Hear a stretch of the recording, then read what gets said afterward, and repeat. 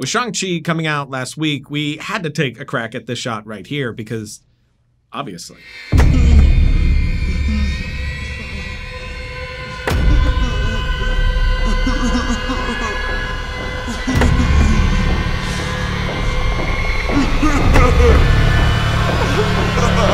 We shot this one on green screen since we wanted to get as close to the actual vibe of the shot as we could, and for the wide shots, we shot both Josh and Justin as individual plates so that we could place them far enough apart in post, as well as giving us an easier way to have reactive lights on both of them, which wouldn't have been possible if they were both in the same shot together. So in each shot, the other actor that wasn't on camera would be controlling a light to give some movement in the color of their power. And we also just didn't have the space to do both of them so this was the only way that we could do it. As usual, we're jumping into Adobe After Effects and we'll drop one of our shots into a new comp. We have multiple episodes on keying, so we're gonna skip that process here. Just check the notes for links to some of those episodes. For the glow on the toy prop rings, which the toy prop rings were these things from Target, which are very cheap looking, very plastic looking, and originally not at all what they ended up being. We just hacksawed them apart to give them something that they could be holding on to. And in the end, it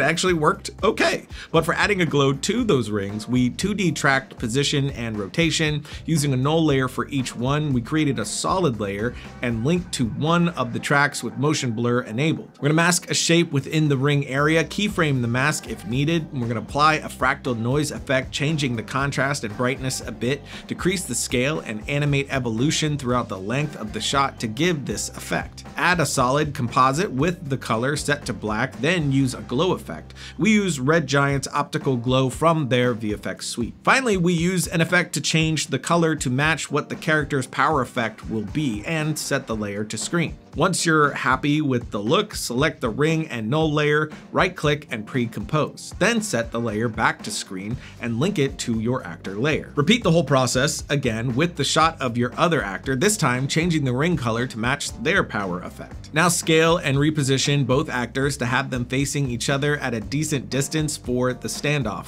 For the environment, we did originally think about using stock photos, but we decided to use this 3D model of a cave within Element 3D so that we had control over over camera placement as well as adding interactive lighting to match. And it was a really cheap model to get. We've also made an episode before on using Element 3D for CG environments, so we're gonna skip that process too. Link for that in the notes below as well. To add some faint shadows, we're gonna be using Red Giant's shadow plugin, changing the position and angle. Right now it's clipping since the dimensions of our layer end here, but unchecking clip to bounding box expands it beyond the border. We'll lower the opacity and soften to give us this, then copy and paste to Josh Josh changing the position and angle. In the original Shang-Chi shot, when both characters pull apart, we see multiple floating rings in a row. Since it's a wide shot, they are pretty undefined, so we can quickly make these by copying one of the glowing ring layers and pasting them in the main comp. Delete any masks and reset the rotation, then use an ellipse mask for the outside of the ring, then another for the inside, setting it to subtract. It's best to rename this layer since we will have multiple copies. Move this into position, then duplicate duplicate and move closer to the center. In the fractal noise effect, you can change the evolution random seed to vary the pattern in each copy.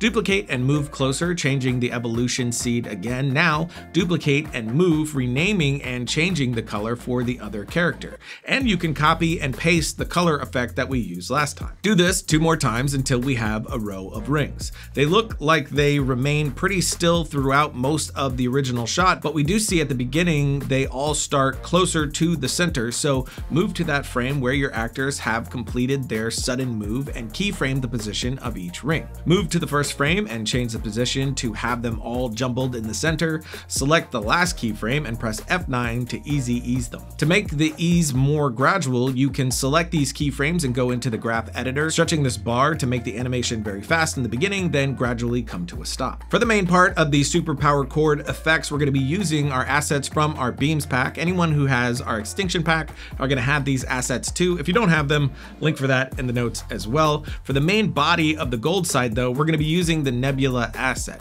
Drop it into the comp and set to screen. Move it in the timeline so that instead of the beam appearing, we have it constantly visible. Now we're gonna change the time to slow it down. We also chose to reverse this and we made it over five times slower and of course enabled frame blending. Move the anchor points to the starting area, then change position, rotation, and scale to have it fit within the floating We can mask just this section to stay visible and feather it. To change the look, we're gonna add a tint making it black and white, then copy and paste the same glow and color effects that we used on the rings, changing the settings a bit to give us this. Link it to the gold ring in the center and enable motion blur. To have it stretch when the rings first spread out, we can just keyframe and scale them, then use the graph editor again and make the transition slow down gradually. To add some line details, we're going to duplicate this and then replace it with the Phoenix main asset by holding the Alt key while dragging and dropping the file over the duplicate to replace it.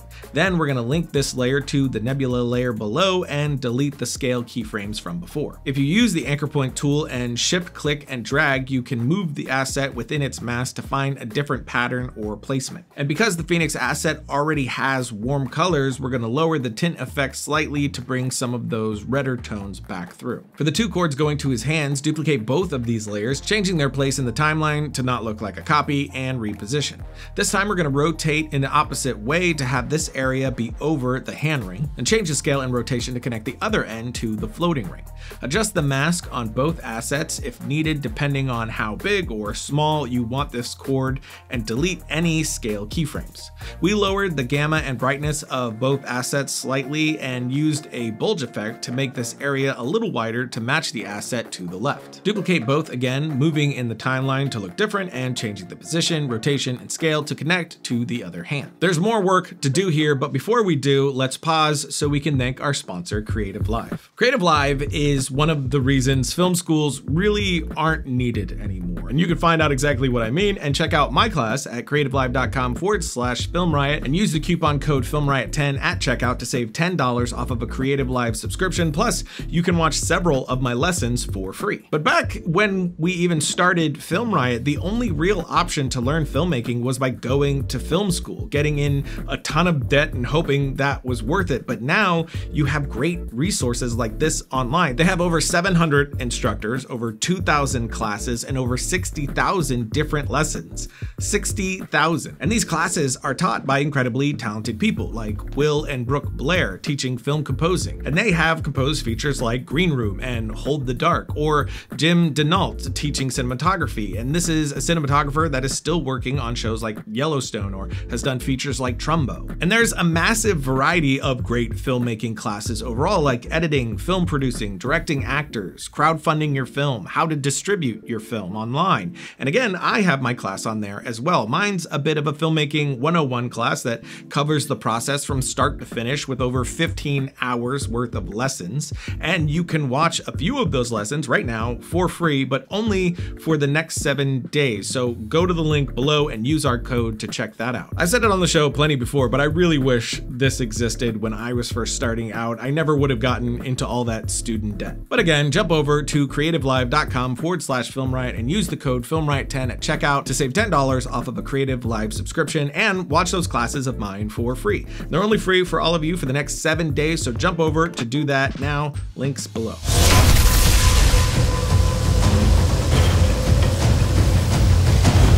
But jumping right back into it, right now, these are all static. But what we can do is unlink the two top Nebula assets from the Golden Ring layer and pre-compose these top four assets together. In their comp, add a new black solid to the background to remove any alpha areas. Back in the main comp, set the blending mode to screen, copy and place the two hand-tracked nulls from the rings comp that we made earlier. Unfortunately, if you remember, we since scaled and repositioned the Josh ring comp layers, meaning these nulls no longer sync up correctly In retrospect, when we first pre-comp them, we could have duplicated them and linked these to the Josh layer when we altered the scale and position. But there's an easy enough fix to get these nulls lined up in the hands again. Create a new null and change the anchor point values. Because this is a 4K comp, we need to change our values to 1920 by 1080, then link the other two nulls to this new null. Copy the anchor position and scale from the actor footage and paste to the new null, which will align the hand tracks correctly. You can then delete this null. To link the cords to each hand, use the puppet pin tool and add a point for each hand as well as where they connect to the floating ring. Pressing the U key will display these puppet pins, select the nulls and press the P key to show position, then use the pick whip next to each puppet pin to link to the corresponding null positions. Do the same for the third puppet pin with the position of the floating ring layer. Enable motion blur and now our cords stretch and track with all three points. For Justin, we also have electric beam assets that we can use. We liked glass main with these floating shapes, so we'll trim it to start at this frame. Because of Justin's hand positions, we don't need to split his beam into two separate cords, so we can just use one version for the whole thing. Set to screen and again change anchor point position, scale, and rotation to match your shot. We added a tint and a bunch of curve variations changing brightness and contrast, then copy pasted the color effect from the blue rings, lowering the brightness and gamma and making the blue a bit more of an electric aqua. We found some areas distracting, so drew a couple of masks set to subtract with some feathering. Lastly, we're gonna add turbulent displace. Turbulent displacement, turbulent. And we'll go with a low amount and keyframe the evolution to give us a little jiggle, a little, a little wiggle in our jiggle, you know, a little jiggle. Oh, yeah, no.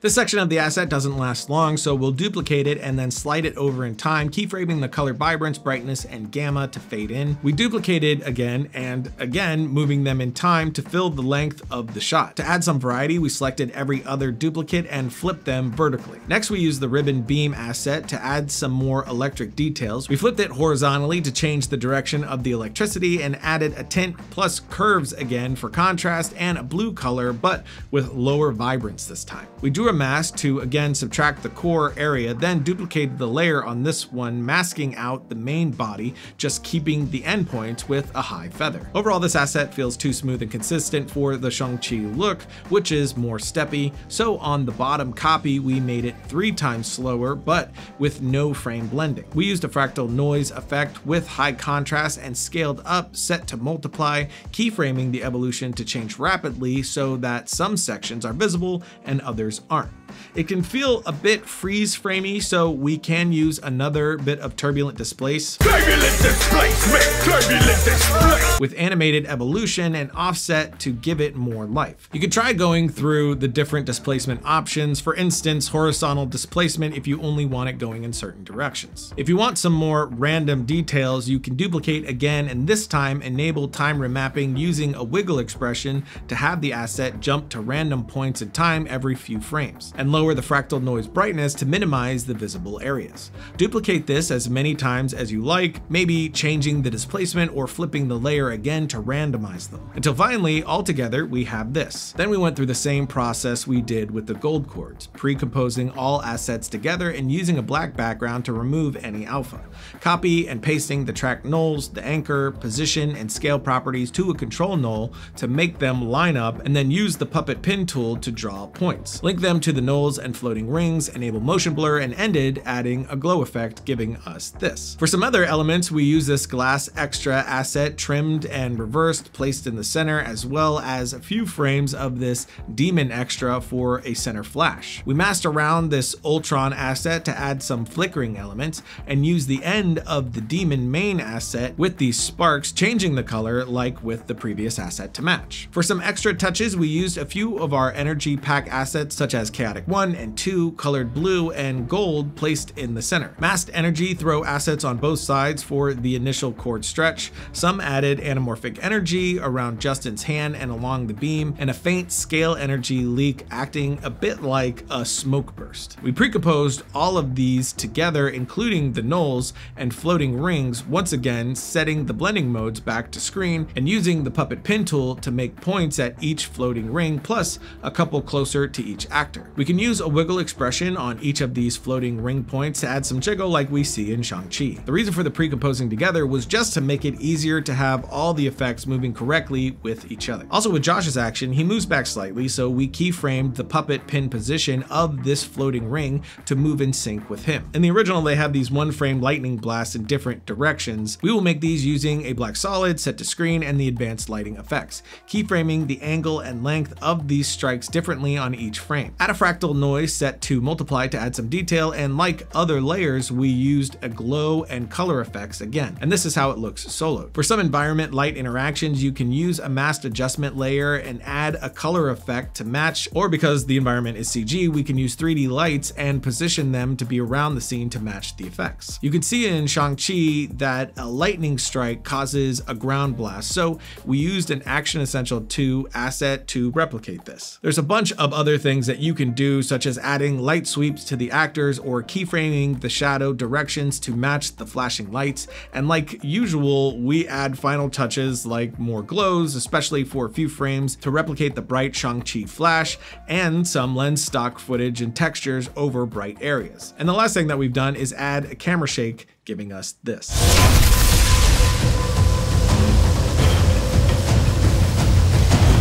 That's it for today, and if you haven't seen it, check out the version of this effect that our friends over at FXHome did inside of HitFilm. We'll put a link to that in the notes below for you to check out. And if you're not subscribed, make sure you do that and hit the bell so you're notified when we put out new content. And until next time, don't forget to write, shoot, edit, repeat.